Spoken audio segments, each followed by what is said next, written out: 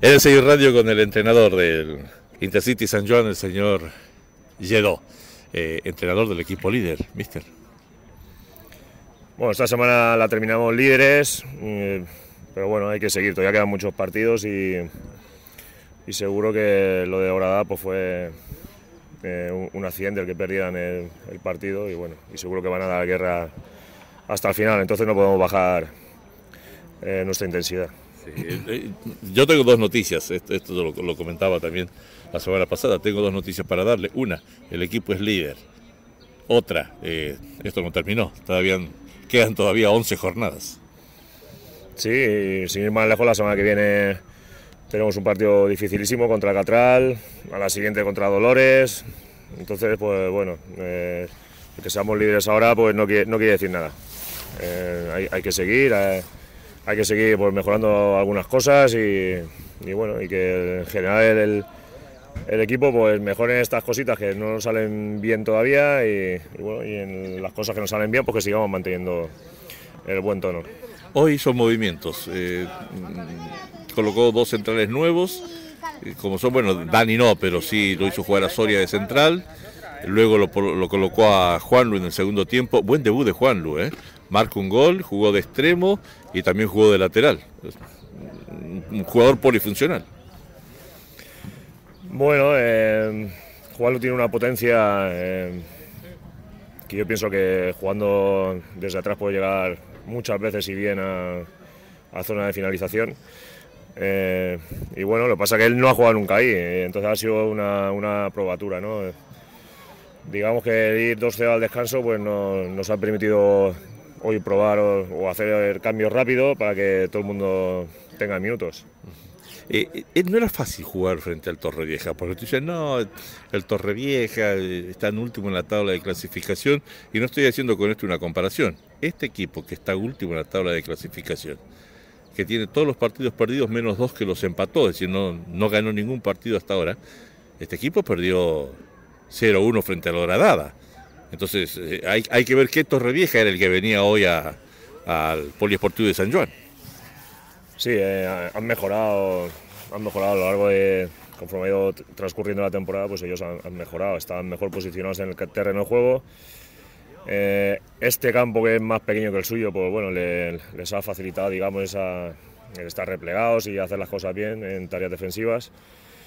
Eh, pero bueno, eh, tienen el problema de que es la letra B del Torrevieja, entonces semana sí, semana también, pues les quitan dos, tres jugadores eh, para que estén con la letra A del Torrevieja, ¿no? Y bueno, entonces eso hace la labor del entrenador más, más complicada. Pero bueno, eh, han mejorado con respecto al partido ida bastante. ¿Y el Intercity mejoró? ¿Va mejorando? ¿Avanza adecuadamente de acuerdo al, al profesor Lledó?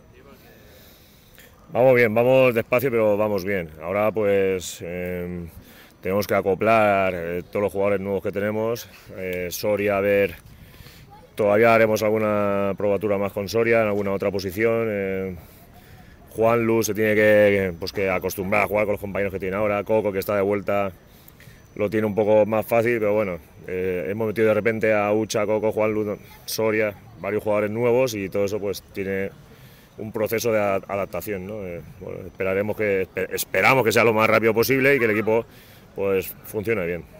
Eh, no sé si para el entrenador será lo mismo que para el aficionado, pero eh, para los que venimos a ver fútbol, este final Intercity, Horadada, Horadada, Intercity, peleando por, por el campeonato de la primera regional del Grupo 8 va a ser apasionante.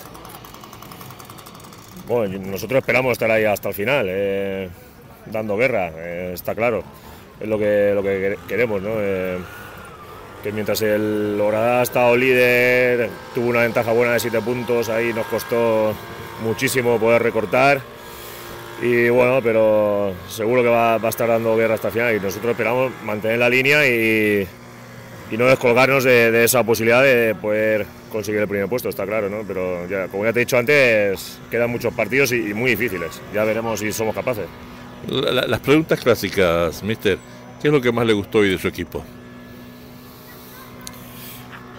Me gustó que hemos hecho cambios en el descanso y, y el equipo ha, ha, metido una velocidad más. ¿no? Eh, o sea, no se esperaba, venga, vamos a ver cómo nos adaptamos a, a estos cambios que, ha hecho el entrenador.